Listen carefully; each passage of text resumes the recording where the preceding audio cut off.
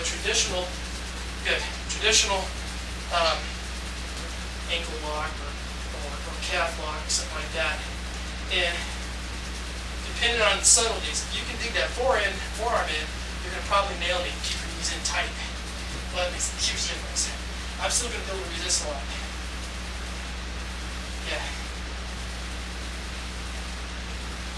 And you're gonna get, you're gonna start wearing out. Try it again.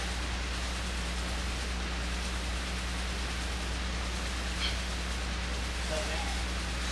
See, and now you're getting, you're getting weak. You're Yeah. a lot of energy. Yeah. It's, it's those little subtleties of what I'm doing, and I'll show you.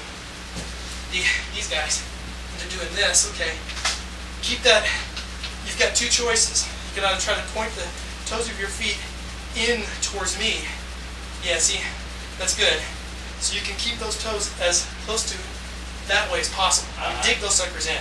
Yeah, see, that's, that's, that's good. I'm, it's gonna take a shitload for me to do this. I mean, I'm gonna have to do a lot of weird things to, to reinforce it. That's one defense. The other one is to get your heel in. I'm gonna be careful with this one. This is this is the bad area. Really? Yeah. So right here, it takes an awful lot. It really does. That's just one way you're gonna protect yourself. So what I'm doing though, I have to commit myself here. You've got a lot of freedom now. Because I'm, I'm over here doing this, and I'm trying to get your, your ankle. You're digging that heel in, you're gonna start rotating and doing a gator roll like you did earlier in that one match. See, I have to do something, otherwise I'm gonna lose it. See that? I mean, I broke it. And now we're leg fighting.